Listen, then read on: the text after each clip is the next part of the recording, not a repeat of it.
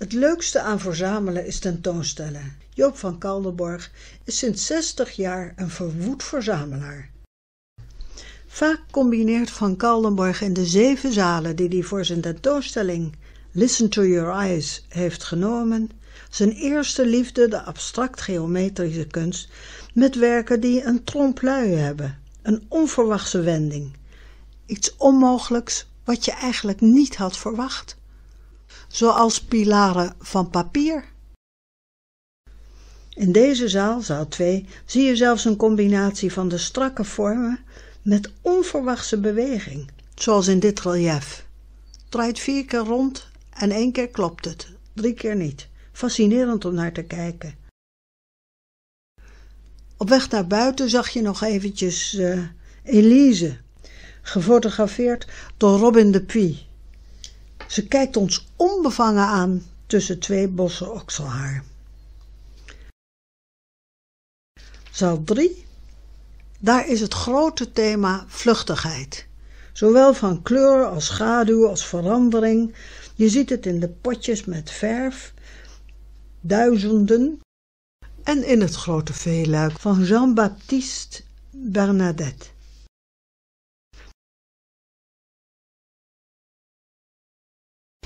In zaal 4 heb je een grote foto van Thomas Derland en je denkt naar een vioolbouwerswerkplaats te kijken, maar in werkelijkheid is het een papieren maquette die Derbald maakte, vakkundig uitlichtte, fotografeerde en vervolgens heel groot afdrukte.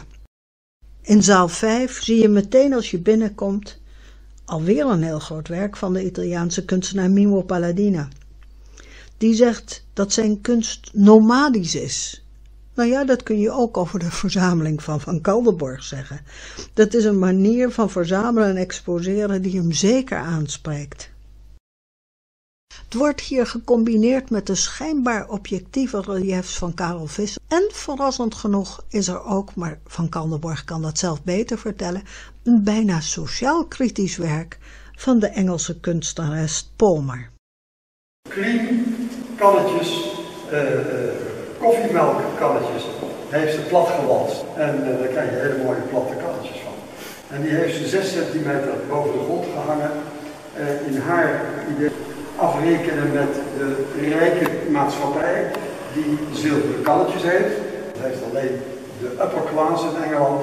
En die walsen we plat, maar laten ze net 6 centimeter boven de grond zweven. Dat is haar verhaal. De verrassing is dit biljart van Céleste Boursier Mougenot, een Franse kunstenares, dat blijkt.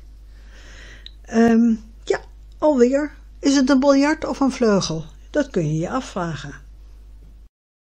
De keus hangen overigens links aan de muur en het is behalve van Kaldenborg verboden om erop te spelen.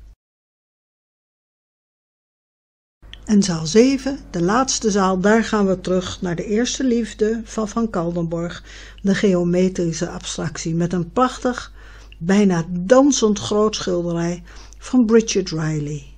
Vorm en kleur veranderen steeds een beetje, waardoor begin en einde anders in elkaar steken, terwijl Niels Vulker zijn windmolenwiekjes en een vastliggend computerprogramma laat draaien, stilstaan andere kant omdraaien. Typisch voor de collectie van Van Kaldenborg. Verrassing op verrassing.